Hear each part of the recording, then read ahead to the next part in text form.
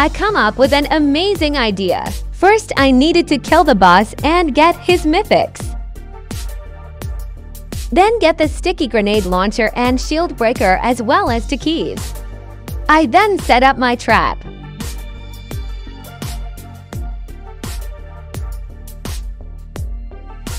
Now we wait.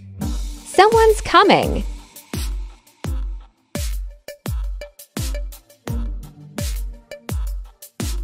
It's Mr. Beast. He is not going to expect this.